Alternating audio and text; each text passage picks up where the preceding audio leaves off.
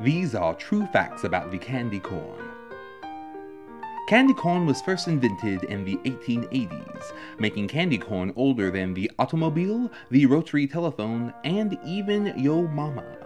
Candy corn was originally called chicken feed, largely because when people would throw out this horrendous snack, the local chickens would eat it and instantly regret it.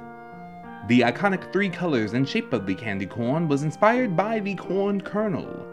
Candy corn then went on to inspire the shape and color of modern traffic cones, as a means to warn people you're getting very close to something you want to be very far away from.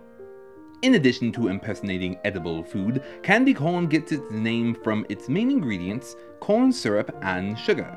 Its other ingredients include artificial food coloring, candle wax, and hatred.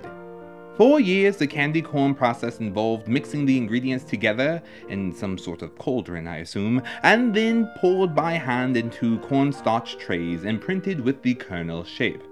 But of course, with modern day technology, most candy corn today is made by Satan. Candy corn is most popular during the time of Halloween, but there are other versions of candy corn for different seasons.